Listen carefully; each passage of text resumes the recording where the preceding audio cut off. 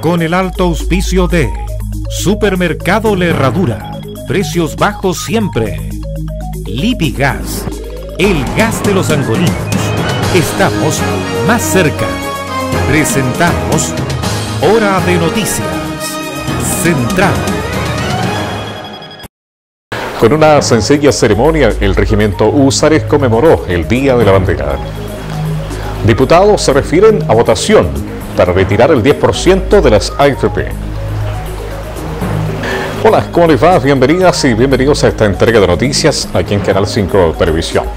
Bueno, este miércoles 8 de julio de este 2020, a hecho de las 20 horas con 7 minutos, luego de un arduo debate que se extendió durante toda la jornada, tanto la mañana y tarde de este miércoles, la Cámara de Diputados aprobó el proyecto de ley que permite el retiro del 10% de los fondos de previsión dado a la emergencia y crisis social que vive precisamente el país.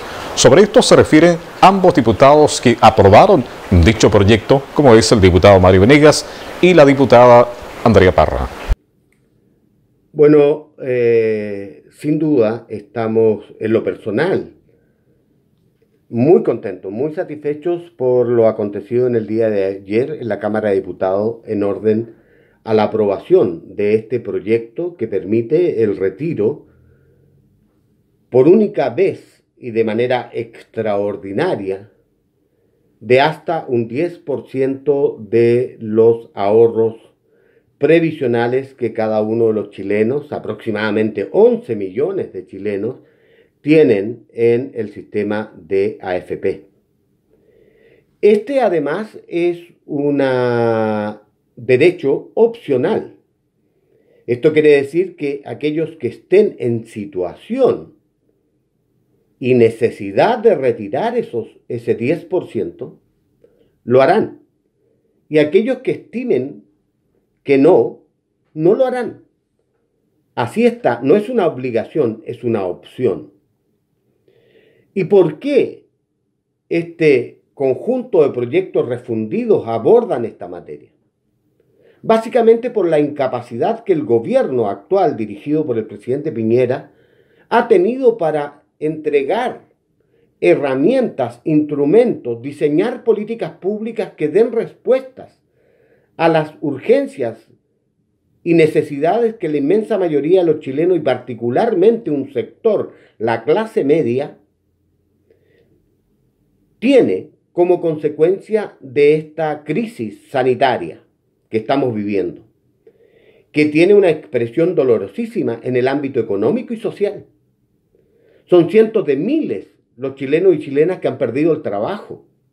Son cientos de miles los que han debido cerrar sus negocios, emprendimientos, o lo han visto quebrar.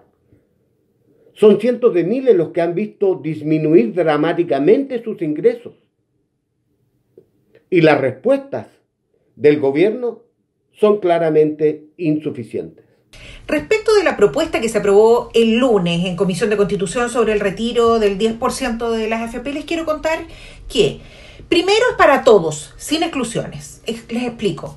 Segundo, todos podrán retirar su 10%. El tope mínimo es de 35 UF, un millón aprox, y el máximo 150 UF, 4 millones 3 aproximadamente, dependiendo del monto que tenga ahorrado. Tercero, los que tengan menos de 10 millones ahorrados igual podrán retirar el piso mínimo de 35 UF, que es este millón que les contaba recién. Es falso lo que dicen que, quedado, que habrían quedado fuera. Nos preocupamos de que no fuera así. Cuarto, aquellos que tengan menos de un millón ahorrado, como están bajo el piso, agregamos una indicación para permitir que retiren hasta el total de sus ahorros. Es decir, en el afiliado va a poder decidir el monto de retiro con libertad. Quinto, se aprobó la creación de un fondo colectivo solidario que se formará con aportes del Estado y del empleador que permitirá restituir estos fondos. No los va a devolver usted. Así compensaremos las pensiones que al momento de jubilarse eh, no se vean afectadas eh, sus jubilaciones o su sueldo que va a recibir en pensión. Sexto, recordar que este es el primer trámite legislativo. Lo más importante es lo que va a pasar el día miércoles, donde se vota en sala y se requiere un quórum alto, ya que es una reforma constitucional. Si lo logramos aprobar el miércoles, ahí va al Senado y después en ley. Y sobre este mismo tema se refirió el diputado Jorge Radgel quien fue el parlamentario que se abstuvo en dicha votación, donde en la siguiente nota, bueno, simplemente da a conocer las explicaciones por qué tomó esta decisión. Finalmente, en el proyecto que permitiría retirar fondos de la AFP me abstuve porque eh, el proyecto que había presentado el gobierno era insuficiente para la clase media. Y este proyecto en realidad tiene un muy buen título. Permitiría a la clase media retirar fondos de la AFP, pero finalmente tiene mucha letra chica que es una puñalada al corazón de la clase media. En primer lugar, no todos pueden retirar. En segundo lugar, eh, cuando se tengan que retirar los fondos, la AFP va a tener que liquidar eh, los eh, recursos que están invertidos en, acciones o en bonos y eso va a significar que esas acciones bajen de precio y afecte no solamente a las personas que retiran sus fondos, sino que también a todas las personas de clase media que tienen invertidos sus recursos, en este caso en las AFP. Y en tercer lugar, quienes van a tener que reponer los fondos que se retiren de estas cuentas van a ser los empleadores. ¿Quiénes son el 70% de los empleadores en nuestro país?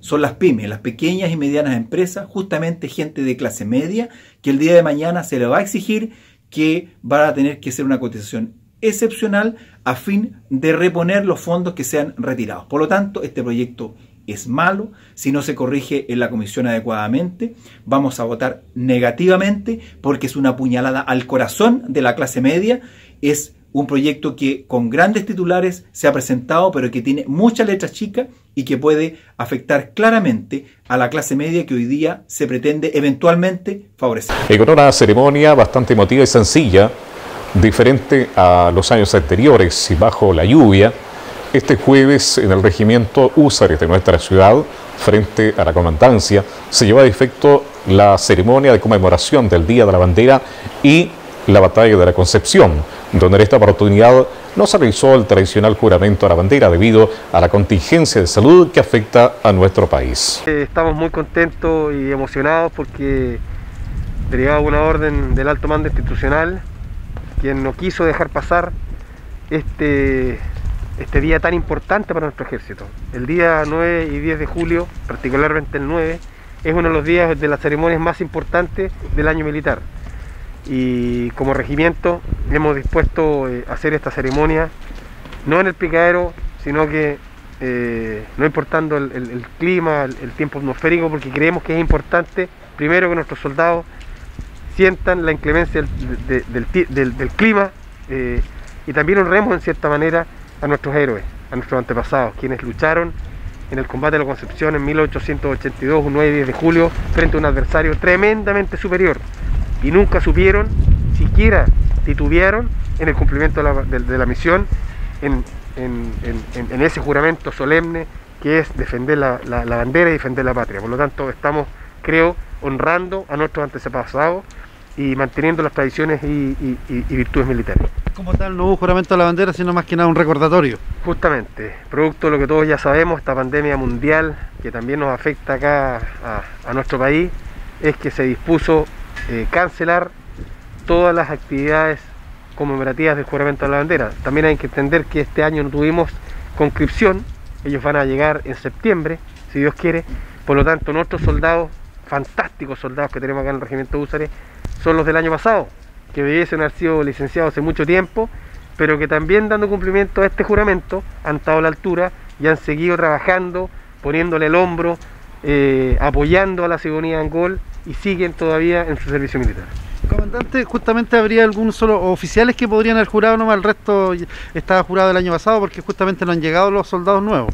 Efectivamente, nosotros acá tenemos dos oficiales eh, de sanidad y sanidad dental que llegaron eh, al regimiento y también cuatro oficiales jóvenes alféreces que llegaron el año pasado, que ascendieron a subteniente, que este año debiesen haber jurado la bandera pero que, eh, como ya lo mencionamos, no se pudo ejecutar, por lo tanto, todos estos ritos y estos hitos militares van a tener que planificarse para el próximo año. Y a continuación, el reporte diario que entrega la Secretaria Regional Ministerial de Salud en la región, con respecto a los nuevos casos de coronavirus detectados durante la jornada de este miércoles, con corto a las 21 horas, donde a nivel de la Araucanía se suman 17 nuevos casos y nuestra ciudad de Angol sumó 3 nuevos contagiados. Al día de hoy, jueves 9 de julio, tenemos 3.505 casos confirmados de COVID-19 en la región de la Araucanía, de los cuales solo 3.404 tienen domicilio en nuestra región. La distribución por comunas es la siguiente. Tenemos la comuna con más, casos positivos, es la comuna de Temuco que tiene 995 casos positivos, la comuna de Angol 387, Padre Las Casas, que tiene acumuladas 194 personas COVID positivos, la comuna de Victoria 169 y la comuna de Galvarino 132 casos acumulados de COVID-19. El resto de las comunas tienen cifras menores. Eh, casos nuevos hemos tenido al día de hoy 23, de los cuales tenemos que extraer seis que no corresponden a la región, en realidad son 17, ¿cierto? De los cuales los más frecuentes están en Temuco y en Angol, que ya están disminuyendo. Respecto a los casos activos, al día de hoy tenemos 231 casos activos en la región, dentro de los cuales la mayor frecuencia se encuentra en Angol con 48 personas y en Temuco con 65 personas. El resto de las comunas están disminuyendo progresivamente sus casos activos. Tenemos 23 casos nuevos totales confirmados en la región, de los cuales son 21 sintomáticos y uno asintomático, considerando que solo 17 tienen domicilio en la región de la Araucanía.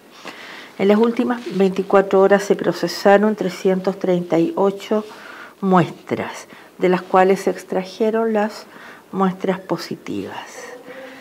Decíamos que tenemos al día de hoy en la región 231 casos activos, y a lo que corresponde a un 6.9% de la población total de pacientes y personas positivas, descontando los fallecidos.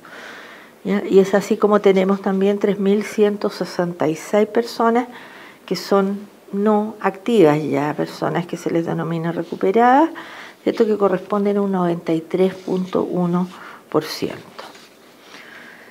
El número de funcionarios de salud confirmados COVID positivos al día de hoy son 394. Desde el punto de vista de la distribución por sexo, se mantiene la tendencia que ha tenido toda la pandemia. El sexo masculino presenta 1.679 casos positivos, lo que corresponde a un 49.3%, a diferencia del sexo femenino, donde tenemos 1.725 casos, esto que corresponde a un 50.7%. Estos son todos los casos acumulados. De la totalidad de casos activos, 60 se encuentran hospitalizados, de estos 22 en unidades de paciente crítico, ya sea en unidades de tratamiento intermedio o de cuidados intensivos, de los cuales 10 están conectados a ventilador mecánico, 7 en establecimientos de la red pública y 3 en clínicas privadas. Y bien, llegamos al término de estas noticias que revisamos como es habitual cada día a través de nuestro departamento de prensa en conjunto con Radio Angol FM. Es todo. Gracias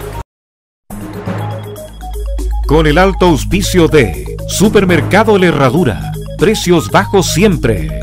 Lipigas, el gas de los angolinos. Estamos más cerca. Hemos presentado Hora de Noticias, Central